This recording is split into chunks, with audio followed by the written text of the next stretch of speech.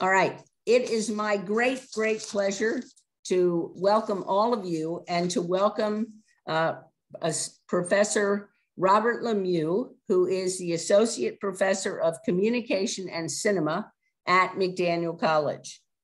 Um, Dr. Lemieux got a master's in communication from Michigan State University, uh, a doctorate in communication from the University of Georgia, and a master's in film and video from American University. Uh, and he also is the curator of this magnificent exhibit. He has been with McDaniel uh, faculty since 1996, and he also is a member of the Carroll County Arts Council Board. Now, I've been on the board for a while, and during that entire time, I've sat there in awe listening to uh, Dr. Lemieux's plans for this spectacular exhibit. And in addition to being magnificent artwork, he also has pulled together an incredible partnership in the community. And it's worth going just to see, pick up the amazing catalog he has produced and to see the many, many members of our community who have participated. So Robert, thank you for this gift to the community. And without further ado, I'm going to turn it over to you. Thank you, Lynn. And I'm assuming everybody can hear me. and what I want to do is share my screen because we have some things we want to talk about. Let me just orient myself here with my Zoom skills. and just to sort of kick this off a little bit, I thought I'd give a little history since this is a historical society and, you know, to sort of orient us uh, animation is 120 years into its art form. And when you think about what has occurred over that 120 years, it's pretty significant. In fact, the vast majority of animation during the 20th century was hand drawn. And in the very early years, there was, you know, audiences were intrigued with animation, but production studios less so. You know, the MGMs of the world, Warner Brothers of the world, as production studios, you know, they were intrigued with it, but recognized the serious time commitment and also recognized the expense of animation. And by time commitment, I, I mean how it, how much time it takes to create an animated film. Traditional film, as perhaps many of you know, is 24 frames per second. And if you think about traditional animation, all of that in the vast majority of the 20th century was hand drawn, which would mean for a second's worth of film time, you're needing to create 24 cells or 24 images just to create one second of film time. And so if you magnify that by, say, a feature length film like Snow White, 83 minutes, you're topping out at a, over 100,000 hand drawn images to create Snow White. And so from the early years, production studios are less intrigued with animation per se. Yes, they'll show it, but less intrigued with maybe having a financial commitment to it. And so in those early years, it's really just individual animators coalescing, sharing ideas, studios starting to pop up in the 1920s, Fleischer Studios, uh, Disney Studios, obviously, Bray Studios in the 1920s, as they're trying to get a grasp of how to uh, continue with this art form. and so what I wanted to start with is, I'm hoping everybody can see my screen, is sort of three pieces of animation that I think speak to the history of the art form over the last 120 years. And each of these we're just going to show for a minute. And so for the first one, this from is, the Library of Congress. So for this first one, this is the first piece of animation. And it is It is called The Enchanted Drawing, 1900. And the interesting part about this is in today's world, we don't know if we would recognize this as a piece of animation, but it is. And it sort of speaks to a couple things. First of all, is the presence of the animator in the film. In the early years of animation, the animator was tended to be a key part of the film in, t- in, terms of his presence, whether it was his just his hand showing how things are drawn, or perhaps his entirety. And in this film, we sort of see that. So we'll watch this for about a minute, and this is the very first animated film in Washington D.C.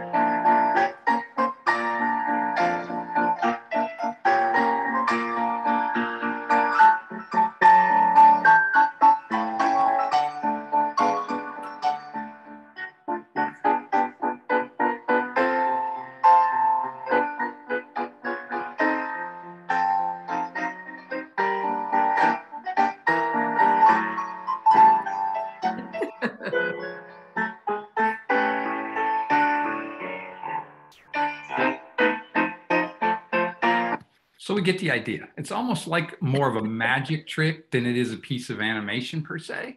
Whereas, you know, it's stop motion in the sense, obviously the animator's drawing, in this case, a glass and a bottle of alcohol and drinking it himself. And then he, you know, he gives a drink to the animated character on the, on the, on the uh, drawing sheet. And so this kind of reflects that very early form of animation where it's kind of very much stop motion. The idea of hand drawn cells haven't developed per se. And it's and it sort of speaks to as i said a minute ago the fascination the audience had with the process the magic that's being created with animation and the animator showing how that magic occurs. In this case you know it shows his entire self drawing it out in other cases in other films uh, it might just be the animator's hand. But there was this great fascination we had with how the art form comes how the magic is created and so the second one i want to show you brings us to the middle of the century and one that some of you may be familiar with. And this is called Gerald McBoing Boing. And it's 1950s Academy Award winner. And it features a story by Dr. Seuss. And it, has obviously a very different look than the one we first watched. We'll watch a minute of this, but it speaks to the interest in sort of the experimentation that has gone on in animation and the way in which we can create a unique look with animation. And this is by United Productions of America, UPA for short, which post 1950 was sort of the animation studio of keen interest for everybody just by the way in which things look. So we'll watch about a minute of this as well. This is the story of Gerald McCloy and the strange thing that happened to that little boy. They say it all started when Gerald was two. That's the age kids start talking. At least most of them do. Well, when he started talking, you know what he said? He didn't talk words. He went instead. What's that? cried his father, his face turning gray. That's a very odd thing for a young boy to say. And poor Gerald's father rushed to the phone and quick dialed the number of Dr. Malone. Come over fast.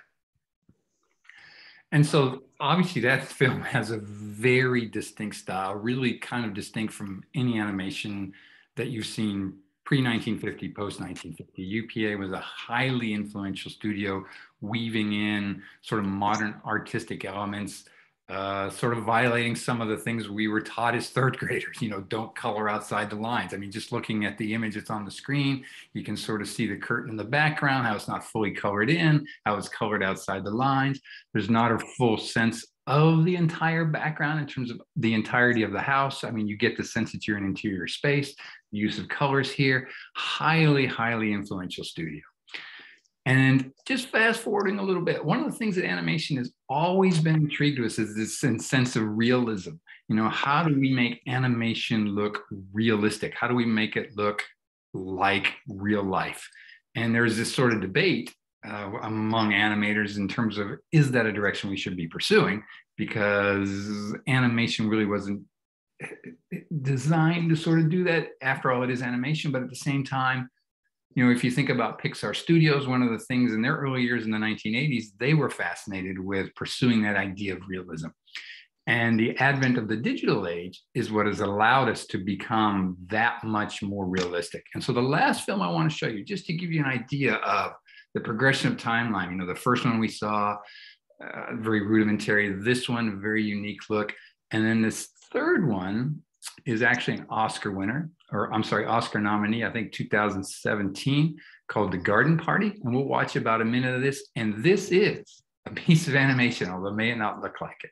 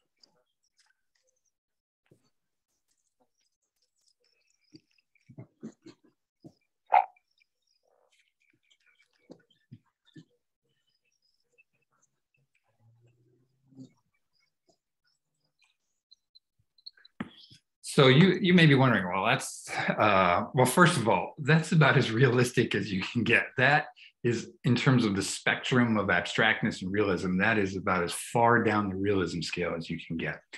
And I think the sort of three little clips that I've showed you kind of speak to that transformation of animation over the course of its over the course of the last 120 years. And this this clip that I just showed you, that realism aspect of it, obviously digitally in terms of the digital age is pretty much now taken over the animation world. And you know it's hard to believe that this is a piece of animation when you look at it.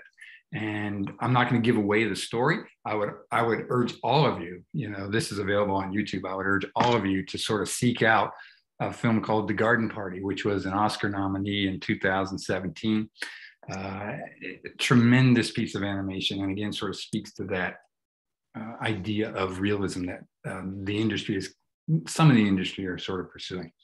All right, so we've talked about you know what it takes to create this 24 frames per second during that classic era. And and by classic era i mean that hand drawn era.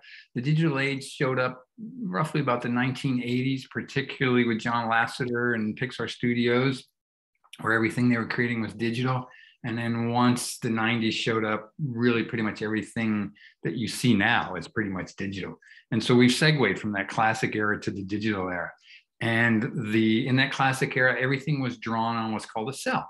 You know, a cell, short for celluloid, and a background. And we'll take a look at some of those cells and backgrounds here momentarily. Uh, but the, the cell in the early years was made out of a nitrate celluloid, which is problematic because it's highly flammable. And then they started to turn to acetate celluloid uh, right of probably the 1930s, 1940s, where they started to transition from nitrate to acetate. And that may sound a little too technical for you, but it's an important aspect because it's that cell that most people are familiar with when we talk about animation. It's that cell that you can go to the Disney store and buy cells and they'll throw in a background for you as well.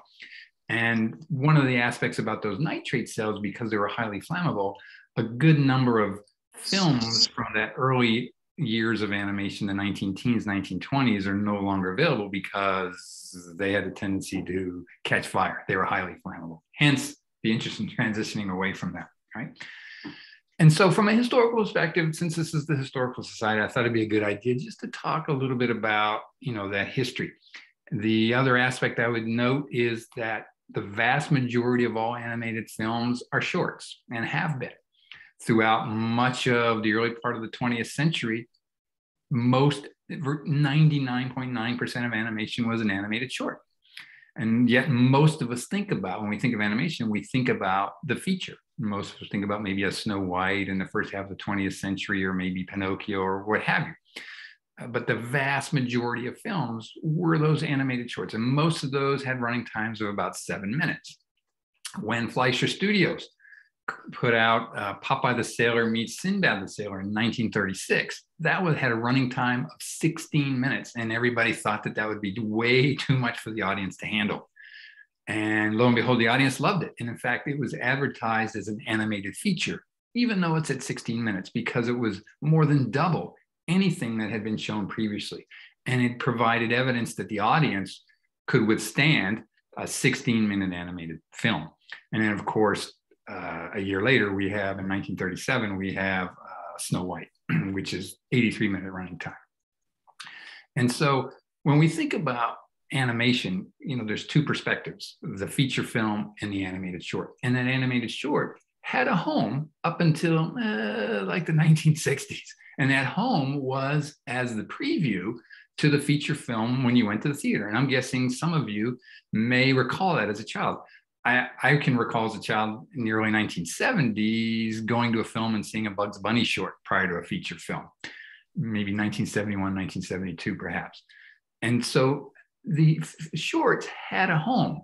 And then in the 1960s, 1950s, 1960s, that started to become less popular because something called television showed up.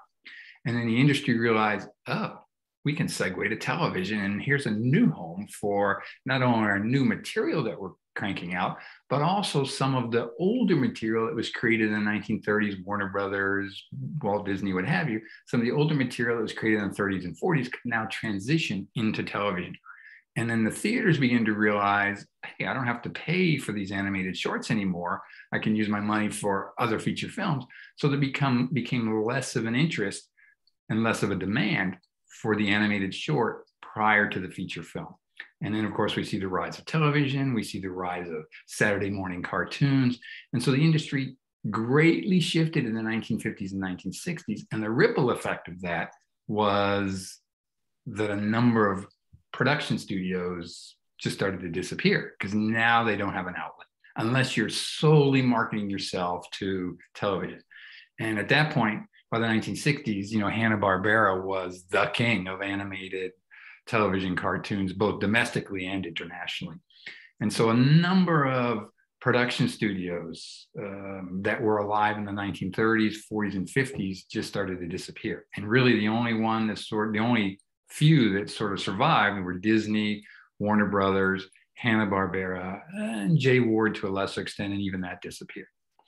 An interesting thing, last thing I'll note from a historical perspective about television animation is that we talked about 24 frames per second for for when you're creating a film. Well, with television animation, the quality isn't on par with that 24 frames per second. So they might scale back uh, to 16 frames per second.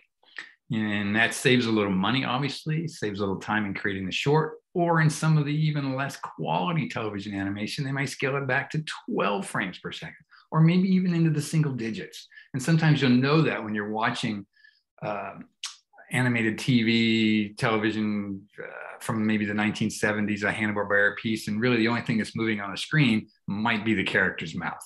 You know, there's nothing else moving, or the movements aren't super smooth.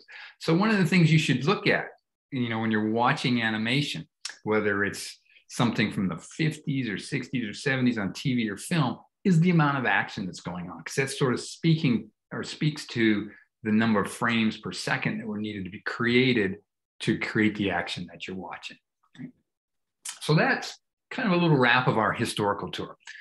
And now might be a good time to sort of segue into all right if you're creating if you want to create an exhibit on animation you know how do you do that you know where do you go to find pieces because as i said there are a number of notable historic production companies that contributed to the cultural significance and relevancy of animation throughout the 20th century fleischer studios bray studios upa studios uh, I mentioned Hanna-Barbera, Jay Ward, uh, Don Bluth Studios, on and on and on.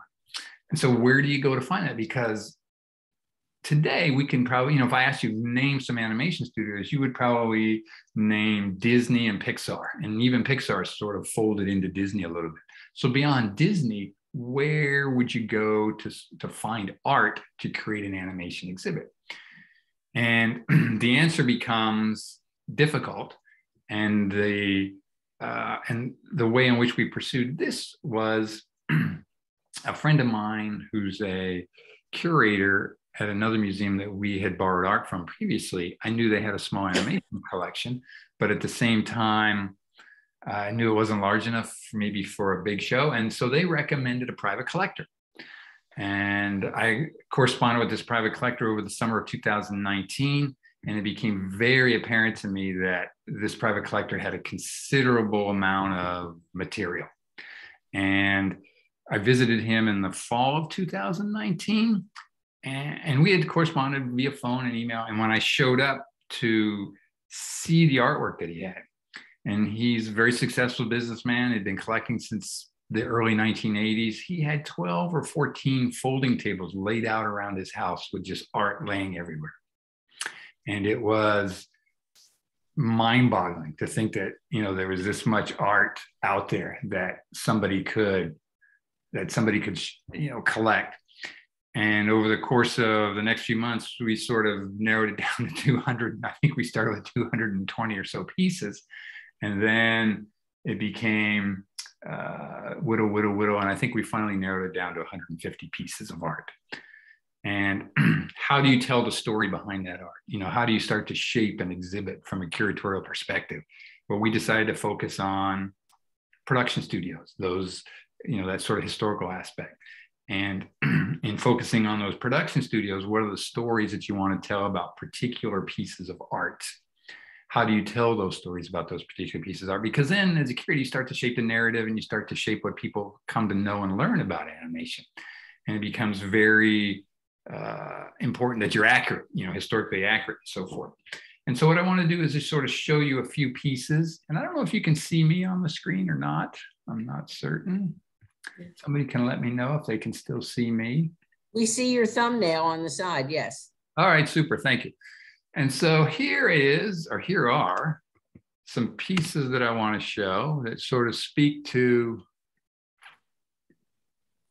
well, maybe not that one, speak to sort of the process that we've talked about, or that we will talk about.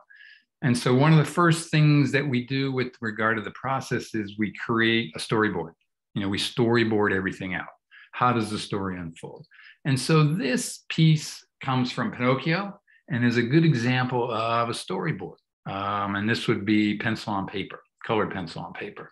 And you can sort of see the scene designation, you can see the camera designation, MCU, and you can see what who the character is, in this case, the blue fairy, turning towards Geppetto and off screen saying, Good Geppetto. And this is a key element and really sort of represents the first element of the process in terms of how do we storyboard this out? Because the storyboard is what we're going to adhere to as we are pursuing um, the story, as we're unfolding the story.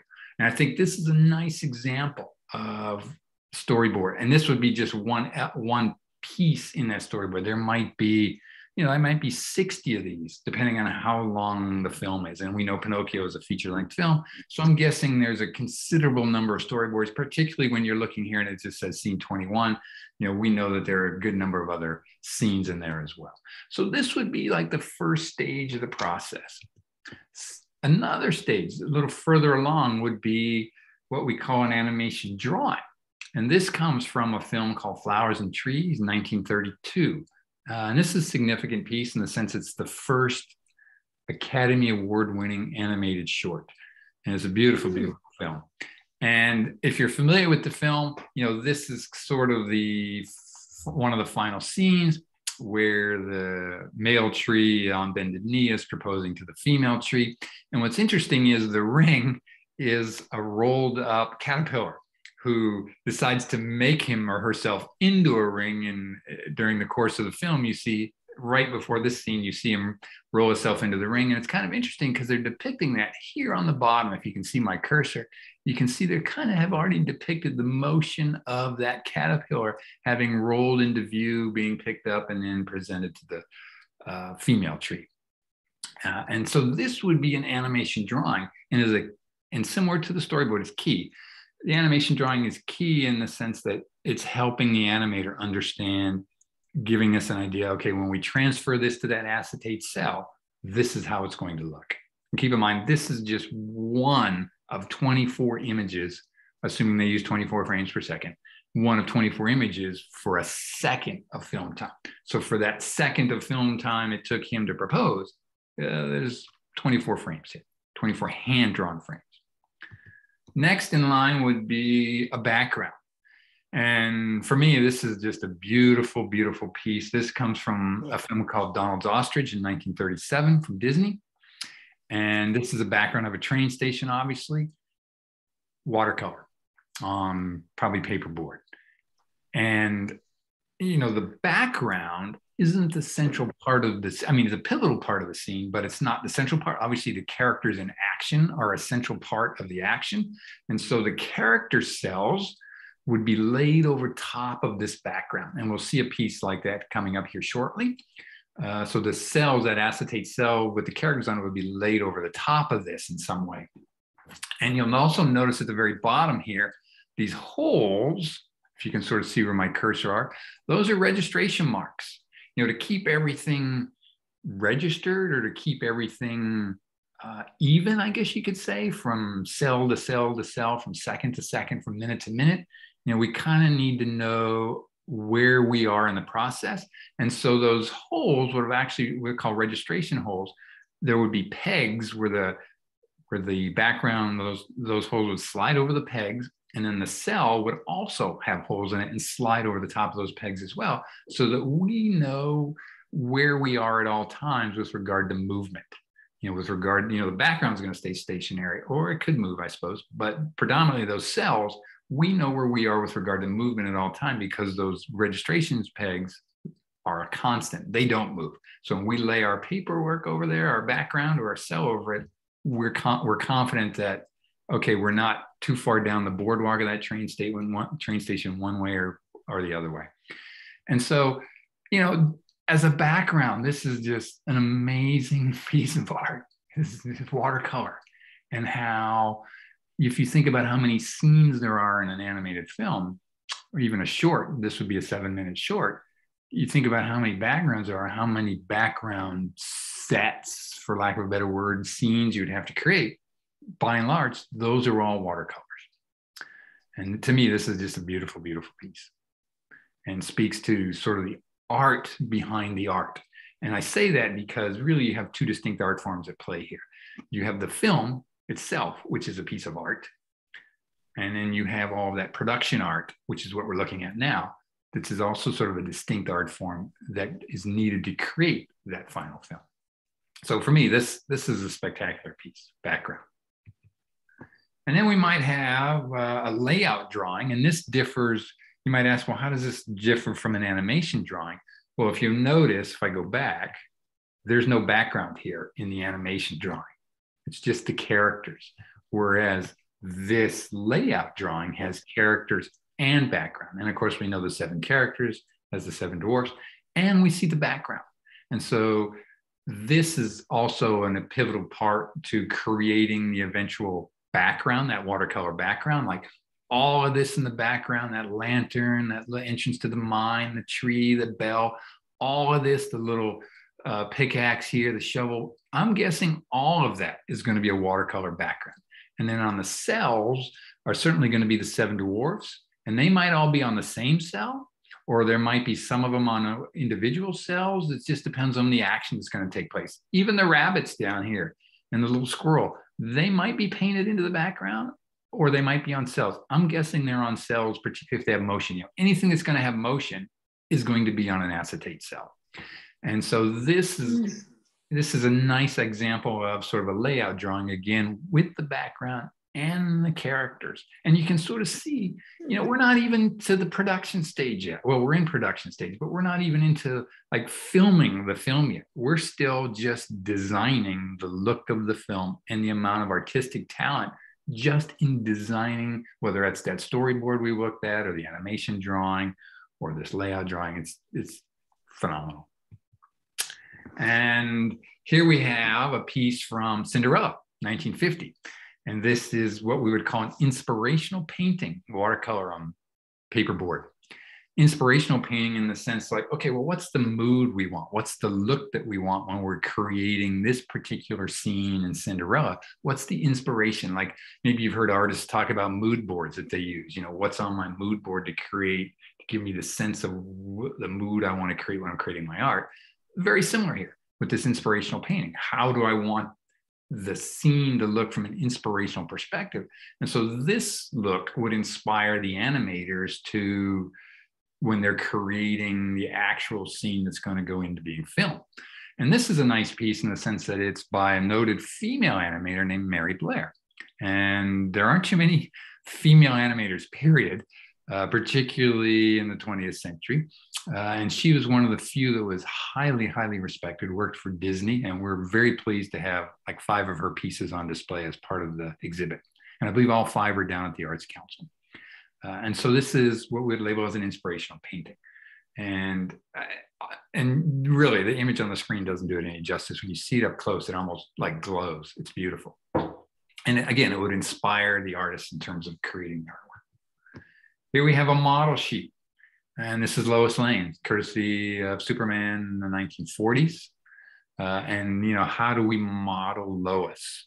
You know, for whether it's, you know, if you look over here to the right, whether it's her facial features, profile straight on, angled, how do we model, how do we model her body, her torso, all aspects of her. And, and even down here, what are sort of the motion aspects? How do we put her into motion? And so many of the main characters for some of these films would have had model sheets.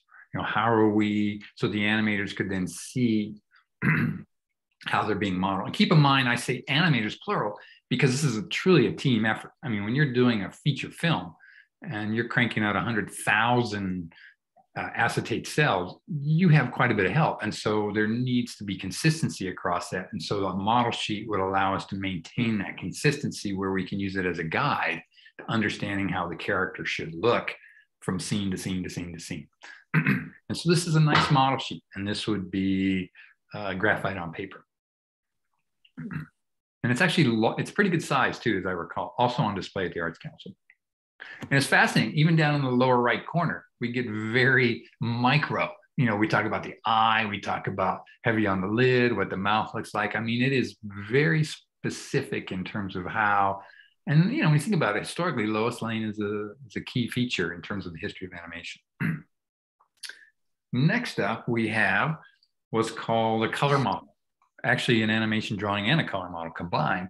And this, you see all the notations out to the side of Porky Pig and out to the side of Daffy Duck.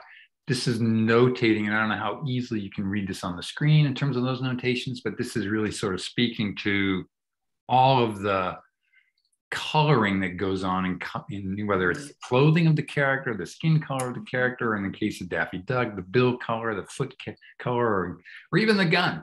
You know, the blue gray color of the gun. If you see right here where they're depicting, you know, the blue gray color of the gun uh, sunflower, I guess that is, different types of red, dark SPCL red, dark special red, maybe light special red for the hat.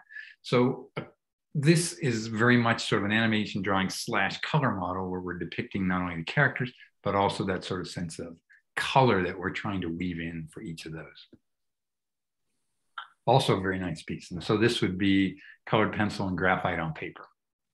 And at the top, you can kind of see, I mean, really not necessary in a color model, but you also see those registration peg holes as well.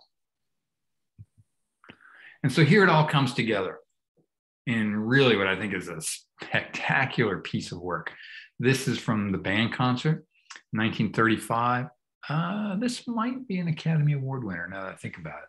And this was what we would call the self setup, where we, you know, we work beyond the story, board stage, the animation drawing, the color models, all of that to where we now have everything in place. And we could, you know, you could spend a lot of time looking over the detail of this piece. And this is a beautiful piece as well. But I'll just point out, you know, the muted colors of the background. You know, you see the trees in the background here, you see the canopy, it's sort of a muted color, this huge tree, the fence, the groundwork, the stage, all of that muted color is that background image. It's kind of like that train station I showed you a minute ago. It's all the background, and this this would be a uh, watercolor background of the set, if you will, if we were creating a set. And then all of the really vibrant color would be characters on the cell, that acetate cell. And in this case, you know, there are so many characters. I can't recall how many layers of acetate cell there are here, but you could clearly have quite a few of them. And you know, obviously the star of the show here is right in the center, Mickey Mouse. And if you've seen this short, it's it's a it's an excellent short in terms of how Mickey's trying to orient the band, and then a storm rolls in and everything goes chaotic. Uh, but what's fascinating here is all of these characters in color, all of them have motion associated with them during this scene, whether it's clapping or cheering, or this gentleman right here, if you can see my cursor, raising his hat, saluting, raising his hat. And so if you think about animating this from one cell to the next cell to the next cell, keeping in mind 24 cells per second, that you're having to create the motion for all of the characters that you see here on the screen. It's not just motion of Mickey Mouse, a single character, it's motion for everybody that you see on the screen. And so that's sort of the spectacularness, if that's a word, of this particular image in the sense that it is complex. There are so many characters involved here. and creating the action for all these characters involved here would require an, an, immense amount of activity from cell to cell to cell to cell even if you know mickey's on his own separate cell right and all in this group in the background might be on a separate cell regardless of how many layers there are you're still creating all of that activity and all that action and so that sort of suggests to you then that the more complex you get with regard to your image the more complex you get with regard to creating that particular image. And I think this is a beautiful piece that speaks to that. You see at the bottom the holes where the registration marks would be, where we would drop this in over those pegs to make certain everything is in alignment with the previous cell and the forthcoming cell. And this piece is on display at the Rice Gallery at McDaniel College. Really, really nice piece. Another key part to all of this is music if you think about animation, all of it, there's a score, a musical score to the background. And probably the best example to use would probably be Fantasia. And this piece is a music sheet from Fantasia. And the impressive, really impressive part about this music sheet is, you know, not only are we talking about up here in the upper corner what the French horn is doing, what the bugle is going to do, and here's what's happening in the scene, oh, by the way, let's just create a little thumbnail image of the scene. And you see the sorcerer really small right here, headed towards the castle. Let's just create a, a thumbnail image out of that might be watercolor, out of watercolor, just because we can and just because we're that good as artists. To me, that's that just sort of speaks to the quality of your craftsmanship. You know, not only are you you know creating the score but you're creating that little thumbnail image associated with the scene associated with the music associated with that scene in particular and there are i think we have four of these uh, on display at the rice gallery. And they're all you know to me they're all really it's just an impressive piece when you look at all four of them and think that you would spend the time to create that little thumbnail image associated with each scene. And so that kind of, you know, I just wanted to walk you through that process. You know, whether from storyboard to animation drawing to background to layout drawing to inspirational painting to model sheet and so forth, all of the production elements that are in the background as we are creating that film. And for most of us, you know, when we think of animation, we think of the film you know, rarely do we encounter the production art. And the production art, I think, stands alone as its own art form, uh, obviously tied to the film. Uh, and production art has become highly uh, collectible, definitely within the last 25, 30 years. Um, I can assure you that key pieces uh, at auction would go in six figures without question. You know if you had a piece from wow if you had a piece from an early disney piece or wouldn't even have to be early disney. You know it's what you know what film does it represent and so forth. And that's kind of the other part to think about in terms of you know when you're having an exhibit and if you think about a film an 83 minute running time film like snow white and you're and you're displaying a piece of art or in our case i think we have about four or five pieces of art you know what pieces of art are you going to select to represent those 83 minutes of film? What are what would be in your opinion what would be the pivotal pieces of film that are most representative and that's a good challenge uh, you know i think about I, I don't have it up on the screen here but i think about a good example is lady and the tramp you know, what's the pivotal scene from Lady and the Tramp? Uh, well, for most people, it would be that spaghetti scene, you know, just before they're ready to eat that spaghetti. Well, we're fortunate that, you know, that we have that on display. And I believe that one's in the Rice Gallery as well. And so if you think about all the films that we watch, you know, what would be the pivotal, what would be a pivotal scene from Snow White? What would be a pivotal scene from The Nightmare Before Christmas? Or what would be a pivotal scene from uh, a Bugs Bunny short. Well, which short would you choose? You know, you think about all the Bugs Bunny shorts, which one is the most iconic? And then from within that short, what scene and what image are you going to take to be representative of that film? And so that's a really good challenge. You know it's not like you're just tossing up art on the wall animation art but you're trying to select animation art that is speaks to the iconography of the film and the characters and so forth right? I have my clock sitting over here next to me and i think i have about a minute left. Let's see what else do we have here I think we'll leave it at that. Oh, I know what I want to say. One final thought. This is just American animation. And that's why we have that in the title Icons of American Animation for the exhibit, you know, so that we're not offending the international community in any way. Uh, because there is some incredible, incredible international animation out there, whether it's Canada, obviously Japan with their anime, Great Britain, France, uh, even Croatia. In fact, Croatia was the first country to win an Oscar for an animated short in 1960 or 1961 uh, for an animated short. Up until then, it had been all US films. And so there's some incredible, incredible animation in the international community as well. And I'm certainly open to any questions that you have. Uh, so I'll turn it back over to whoever. Thank you so much, Robert. I'm sure we yeah. have a lot of questions, but one I would like to ask to kick it off is um, compared to, say, putting together Snow White, how many artists work on something like Up, for example, compared to Snow White? Is oh, I, a huge uh, crowd of artists, or has oh. technology reduced that number? Um, I would say it's comparable. You know, when you look at when you look at the credits of a, of an animated film like Up, uh, they're about as lengthy as the credits for Snow White and so forth. Although I would say uh, it's a tough call.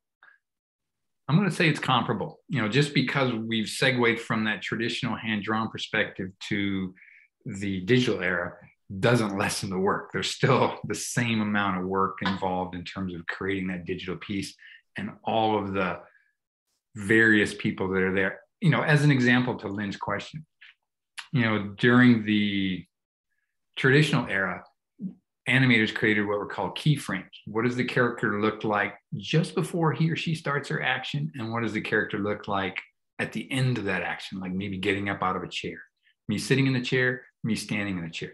So the animator would create those two keyframes, and then they had what were called in betweeners they would create everything in between the people in the background, the in betweeners that would create all the frames in between to make that scene of me sitting in my chair and then eventually standing up. And the same is true with digital. You know, they create keyframes for the action, the start of the action, the end of the action. And then the beauty of the digital era that digitally can start to fill that in. But that said, there's still, I mean, you look at the credits of any digital film, there are a lot, a lot of people involved. Thank you so much. Now, if anyone would like to ask Robert a question, you're welcome to unmute and you're also welcome to use chat. So do we have any questions? Oh, let me peek at my chat. Well, there's nothing in there right now. okay. Please do. please do. Uh, I have a question. Okay, go for um, it. This is Joyce. Hi, Robert. Hey, Joyce. did a sensational job. I've only seen it at the Arts Center, but I'll be up on campus next week. Um, you know, it really was a walk down memory lane because I've seen all these old cartoons. I grew up in this era. And one of the things I remember was the sing alongs with the bouncing ball. Yes. So could you say something about, I mean, there had to be animators that just did that, segments. Okay, that's a, a, very good question, Joyce. You know, the sing along is in the early, late 20s, early, well, once sound showed up, the early 1930s. And really, that evolved from Warner Brothers Studios Warner was very interested in getting into animation, but only because they had a massive music library. All they wanted to do was showcase their music library. And so whenever Warner um, collaborated with an animator, the requirement was, well, here's the music we want, create the animation around it, which made it very, very difficult to create animation around the requirement of using this particular music. So one of the things they started doing was creating those sing-alongs. And those sort of were like the first music videos, if you will. And again, early 1930s, and they introduced that bouncing ball to help the audience sing along and stay in tune and stay in rhythm with the song uh, that's being presented. and that became a nice feature in the 1960s television animation for children as well, 1950s and 1960s. Thank you very much. Um, we have a question from Nora Rollinson. She asks, how well regarded was animation by the film industry? Was there any struggle to get respect? Mm, yeah, definitely so. I mean, if you think about just the Academy Award for the animated feature, I can't remember when the first appeared, the 90s, I guess that was, or 2000. It was Shrek that might have won the first one. Uh, you think how long it took for it to be recognized as its own category. Granted, there was the animated short, but not a highlighted category at the at the Academy Awards. So if you think about just how long it took the feature to be receive that sort of recognition, that sort of I think that would speak to that uh, lack of respect that the animation industry had. And I think you know part of that is because many people associated with it associated with that sort of children's cartoons of the 1960s and 1970s. And, you know, the Disney Renaissance in the 80s and the um, rise of Pixar and the animated features, uh, particularly animated features that children and adults are interested in, sort of help create a greater degree of respect for that animated feature. Thank you. Um, I'm going to turn it over. Jason has a question. He has his hand up, so uh, I'll have him ask his, and then we have another chat question. So, Jason. Robert, can you hear me? Yeah, sure. Yeah. So when I sit down with my son, my toddler, and I have a little pad and I draw a ball and then I flip the page and I draw another ball, is that sort of just a very rudimentary example of kind of yeah. what these folks were doing at a grand scale? Sure. It's very, yeah, exactly. You know, how that ball, uh, whatever you're trying to make that ball do, bounce, thrown, bounce up, bounce down, it's just yeah, very rudimentary how you're getting it from the time it leaves my hand to its final resting spot. You know, what are you having it do in between those two points? Uh, and how smooth is your animation going to be in presenting that movement is going to determine how many of those pages you and your son are going to draw from leaving my hand, bouncing on the ground to rising up. Uh, and I'm going to guess you know, bouncing ball, you know, that might be two seconds of work. So that's like 48 hand drawn images. Wow. Uh, Fr Frank and Jenny have this question. Is there a particular piece of animation, short or film that you are most impressed with technically?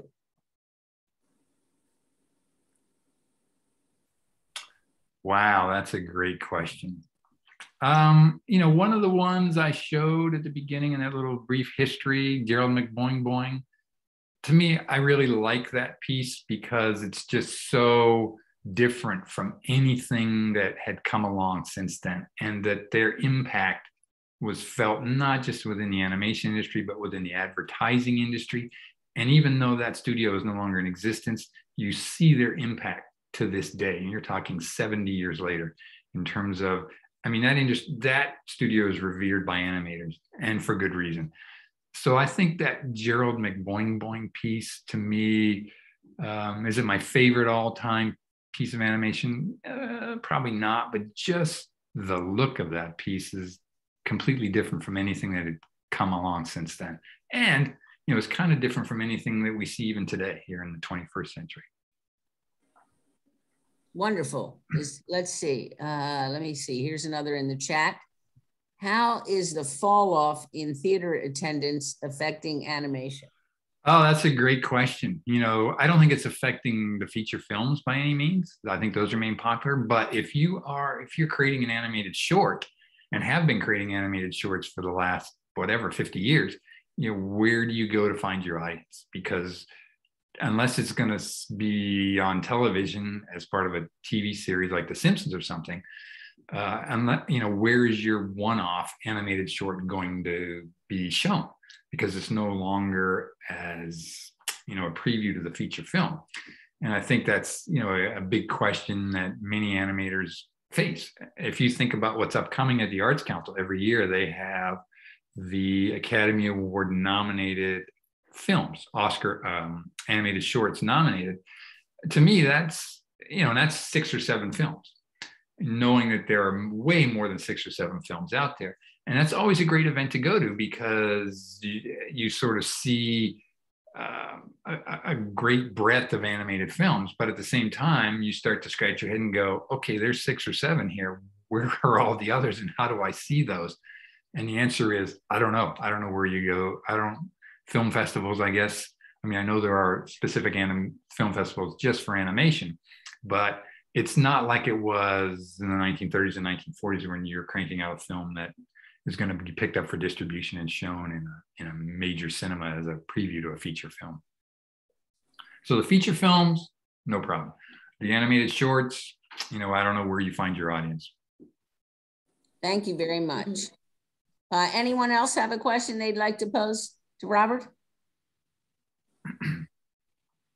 All right. And, wait a minute. Sorry. Here, wait a minute. We have one more here. Go ahead. Sure.